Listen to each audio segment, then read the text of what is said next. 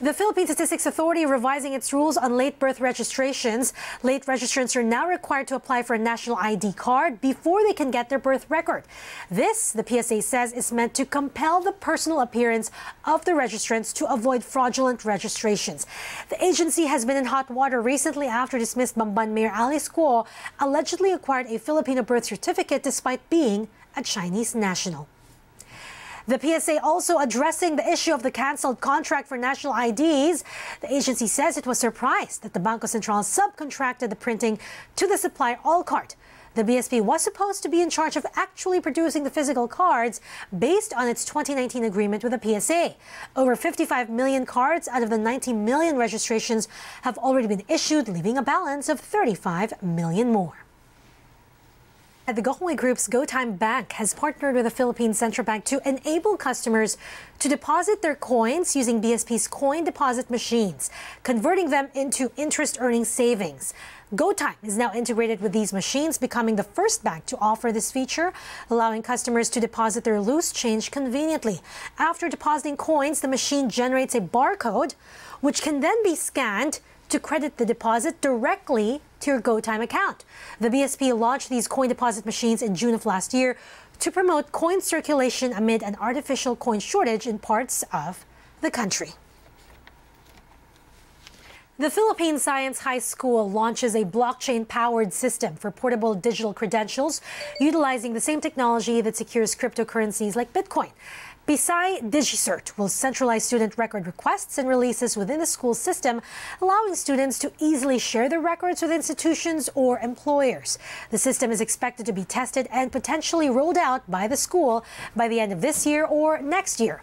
Pisay hopes this initiative will encourage other government agencies and educational institutions to adopt similar technologies. Meanwhile, a local publishing house launched on Wednesday what it describes as the first set of locally produced decodable texts.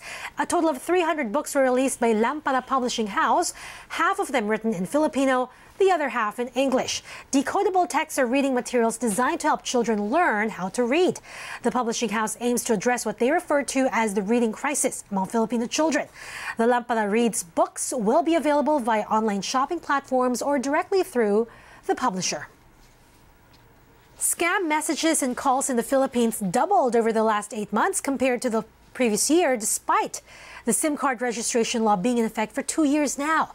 Andrea Taguines with a full story.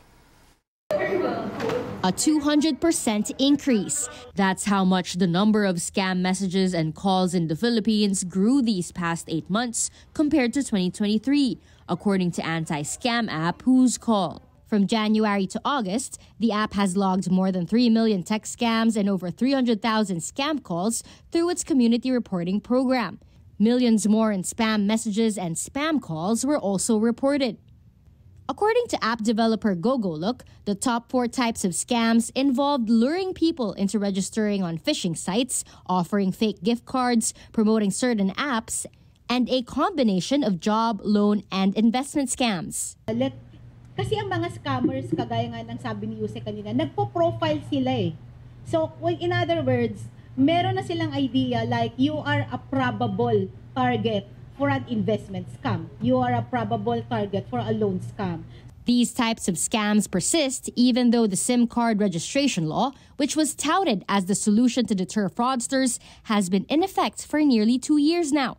But the Cybercrime Investigation and Coordinating Center, which is under the Philippine ICT Department, insists the measure has been the shot in the arm the government needed to crack down on scam syndicates. Bakit kami nag-ooperate ngayon? Bakit ang PAOCC, ang NBI, ang PNP, practically everybody, DTI, is running after people? Kasi meron na tayong pwedeng habulin. Peke man yun o hindi, at least yung data na yun will lead us to its origin. The, the record shows ang dami na nating nahuli. Ramos also expects a win for the government soon, with the looming conviction of 17 Chinese nationals arrested in Iloilo in November last year after they confessed to cyber crimes. Yung lawyer nila eh, nag, uh, nag-plea bargain na. Naantay na lang natin decision ng korte kung anong ipapataw sa kanila. And this will be the first conviction if ever. Our law, they have to serve a sentence here, but at a shorter term. Tapos deportation. Then they will be deported.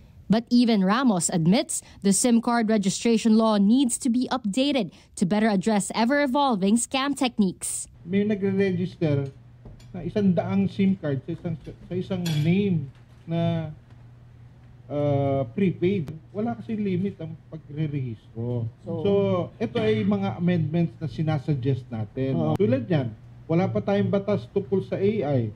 Whose Call is promoting public awareness against scams through its app, which distinguishes between scam numbers and legitimate contacts.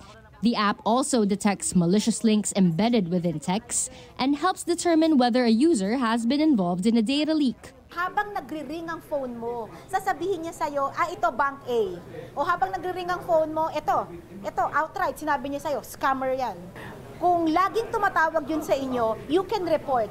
You can report it here para ma-investigate. Meanwhile, the government also believes the newly enacted anti financial account scamming law will further strengthen its cause once the implementing rules and regulations are released by the Philippine Central Bank.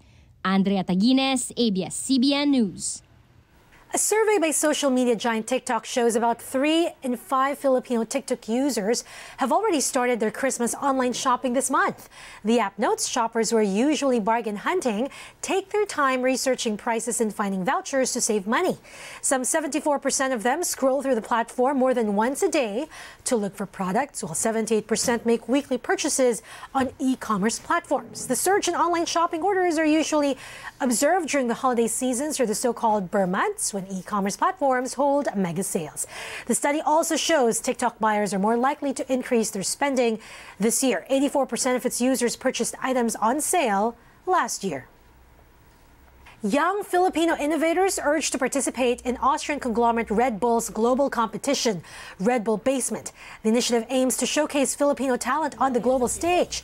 Participants from over 40 countries will compete for the chance to receive mentorship and networking opportunities in Silicon Valley. Interested individuals are encouraged to develop a concise, one page business plan and submit it via Red Bull's official website. If it's meaningful enough, then we will see it.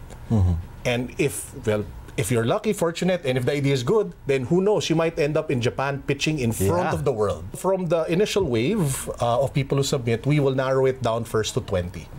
And then the 20 will come up with a 60 minute video pitch. And then from those 20, we'll narrow it down again to 10. And then we'll have a national competition, find the national champion from those 10. And that lucky, innovative, amazing person, we will support through a two week development program. And then we will bring them to Two Tokyo. weeks.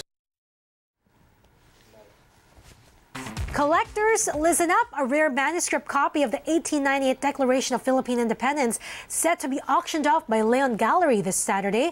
Leon Gallery says the original proclamation document is safeguarded in the National Library of the Philippines. So let's talk about more about the item going up for bidding. This is actually a handwritten copy of the 12-page manuscript made by Lieutenant Colonel Jose Banuelo, a known confidant of former President Emilio Aguinaldo, on the same day, June 12, 1898. Academics guess he may have been acutely aware of the historical importance of the founding event, or may have simply wanted a copy for safekeeping in case the original was lost, or perhaps to certify his own participation in this lofty enterprise as a way of obtaining future political favors.